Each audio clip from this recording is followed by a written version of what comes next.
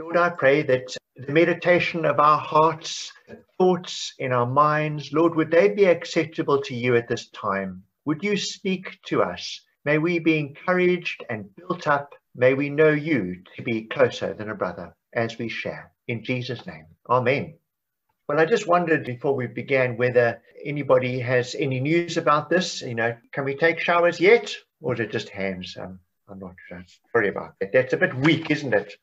Just a quiz. What do Winnie the Pooh and John the Baptist have in common? Any idea? Their middle names. It's the. Oh, ha, ha. I do apologize, folks. I do apologize. We'll be talking about the birth of John the Baptist, and forgive me, all those ladies who have given birth. This I know is um, very chauvinistic, but it's just something to laugh about. But just to pause here a moment, you know, when we're looking at this account of the birth of John the Baptist, we need to remember that when the angel told Zechariah, actually let's call them Zach and Liz, it makes for easier speech. When angel Gabriel, let's call Gabriel Gab, shall we? When Gab told Zach, he said to him, Your wife, Liz, will bear a son. Not just a child, it was a very specific promise. And so here we have the birth of that son, Gabriel's word coming to fruition. And that, I think, is an indication that the Word of God is reliable. It's not something to be doubted. And this story is one of faith, believing that what God says will come to pass. And also in the birth of John the Baptist, we see how the miraculous happens, doesn't it? Where both Zach and Liz are well past the age of having children. But here, God intervenes miraculously and says, No, you will be able to bear a son. In that process, God steps back and allows the natural to take over. So here we have Liz carrying that baby for nine months. But here we have God, the miraculous, but also using the natural. Let's never doubt that God wants to use us. God is with us, alongside us. That's the whole message of Christmas. Emmanuel, alongside us. The miraculous meeting the natural. And also, I think when we think about the birth of John the Baptist, let's never forget that John had a destiny, a purpose. And each one of us too, have a destiny, a purpose. Not something which we finally arrive at, but it's the ongoing way we live our lives which impact and imprint on others around us. We have a destiny. Our children have a destiny. Our grandchildren have a destiny although we might not see it, and it takes sometimes a lot of faith and patience, we know that God blesses each life, that He has a purpose and a plan for each one of us. And so John had a special purpose, the forerunner of Jesus. But we too have that responsibility, that calling, that opportunity to share the wonderful news of Christ, especially now at Christmas. And our children, let's remember to keep them the forefront of our prayers and our grandchildren and those in our wider family because God has a purpose for us all. If we think about the birth of John the Baptist, John the Baptist was part of the salvation story. John was to herald the salvation story.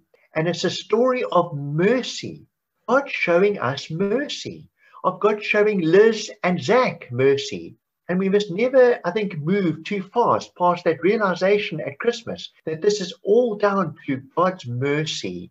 He knows our situations. He knew Elizabeth and Zach's situation. He knows our situation. Are things that we are longing for, waiting for. Let's trust God. And also, we recognize that when Zach and Liz had their child, when John was born, there was incredible joy, wasn't there? Joy amongst the neighbors, joy amongst the relatives, and it just reminds me and brings to mind that notion of our verse that we're currently focusing on for the time being. And that is that we are the body of Christ, each one of us placed in that body. And when you see neighbors and relatives rejoicing together, it reminds us of that encouragement to rejoice with those who are glad and mourn with those who are mourn, but recognize that we are part of the wider body of Christ. And here we have that enacted before us in this birth of John the Baptist.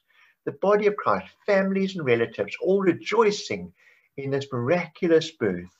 And so, encouragement for us is to perhaps think about recognizing God more and more in our everyday. We're trying to emphasize the concept that faith is about everyday life. It's not something that happens in church on Sundays alone. It's much broader than that. And so when one comes to herald the salvation which is for us all, from God's standpoint of pure mercy, we're invited to recognize that God is not only at one point bringing salvation, but is continually offering us salvation, redemption, and to our neighbors and our friends. And so there's an everyday occurrence happening where we are called into sharing this life, this mercy, and the salvation of God. So, salvation for all, that was John the Baptist's message, and it's our message. God coming to redeem every one of us. So, let's rejoice in that. The covenant. The covenant is when, on the eighth day, they came to circumcise John. In our language, we kind of have lost sight of that word covenant. It's more than promise, it's more than agreement. A covenant is something which is absolutely binding. Just like Isaac was the promise child or the child of promise Abraham, so John is a child of promise to Liz and Zach. So this child, John, is a child of promise that needs enact a covenant, remind us of the covenant that God made with us. Say that I will be your God. And in the salvation history, we know that our God can be one with us, Emmanuel. And in this covenant um, or this circumcision process, this ceremony, it was the act of giving over again this child back to God, of saying, Lord, you give and you take away. And I've often thought about our emphasis when we have children born to us in today's society. We rejoice enormously in the birth, but we don't rejoice as much often in the baptism of the child, which is our equivalent of that enacting that covenant. And I'm wondering why that is so, because actually baptism, that acknowledging that this child belongs to God, is hugely important in our covenant history. But in this covenant that God makes with us and that John came to enact and reenact and tell us about, it does have an opt in and an opt out clause. And we are required to opt in. If we don't opt in, then we are opting out. Nobody forces us into a covenant relationship with God. God offers himself to be our God and for us to be his people. And so just to recognize that God, when he covenants with us, he means it.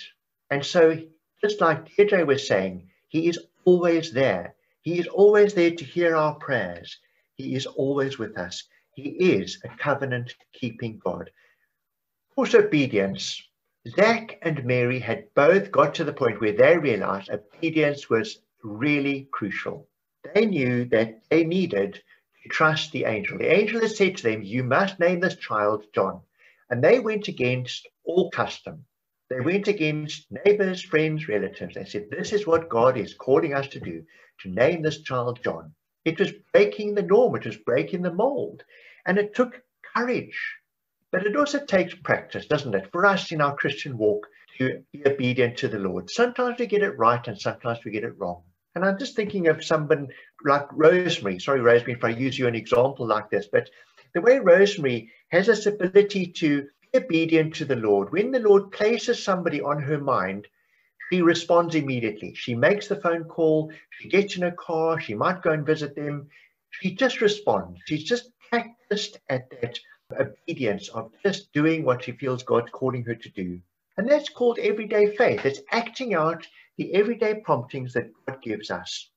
And just like in this one situation, Zach and Liz had to remember not to bow to cultural pressure or norms or to the expectations of family or friends.